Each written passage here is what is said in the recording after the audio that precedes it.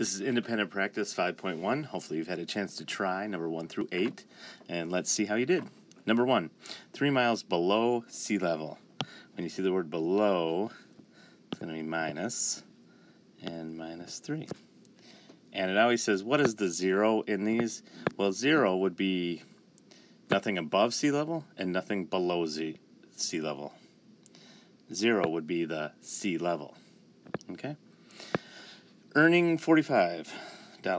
Earning is a plus 45. And the zero equals uh, gaining nothing or spending nothing. It is uh, zero is nothing. Okay, number three. Moving back five spaces on a game board. Moving back, which is a negative thing. You don't want to move back, usually. So it'd be a negative five. The zero represents um, that you didn't move back or you didn't move forward. Okay. Now let's graph some of these numbers. I'm going to graph negative 5. Uh, the way I'm going to do it, I'm just going to put a negative 5 somewhere. How about I put it right here? And then I can go negative 4, negative 3, negative 2, negative 1. And if I'm going this way, I'm getting less. So negative 6, negative 7.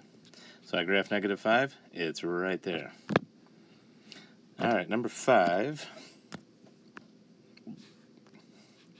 Uh, 2, negative 3, 0, 1.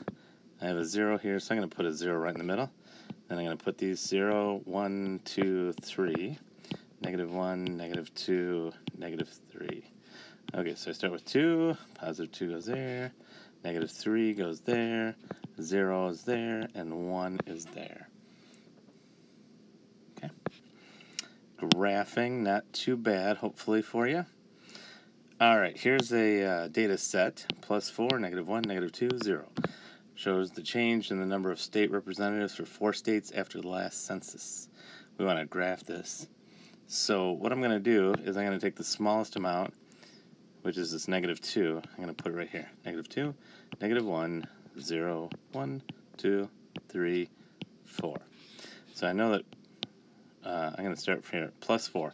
So that one's going to go here, and negative 1 goes right here, negative 2 goes right here, and 0 right there. Let's go down to number 7.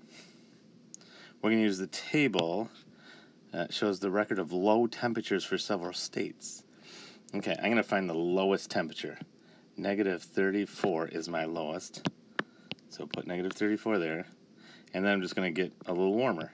Negative 33, negative 32, negative 31, negative 30, negative 29, negative 28, negative 27, and negative 26. And if I keep going, I will eventually get to zero and then back into the positive numbers.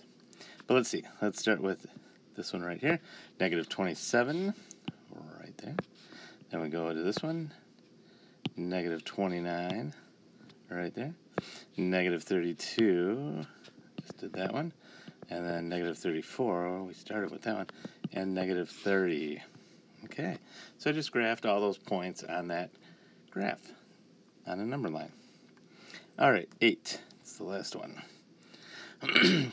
the table shows the number of points uh, earned for each auction or each action in a video game. While playing the video game, Kevin fell in water, jumped over a rock, touched a cactus, climbed a mountain. Graph the number of points he earned for each of his actions. Okay, so let's graph uh, Kevin fell in water.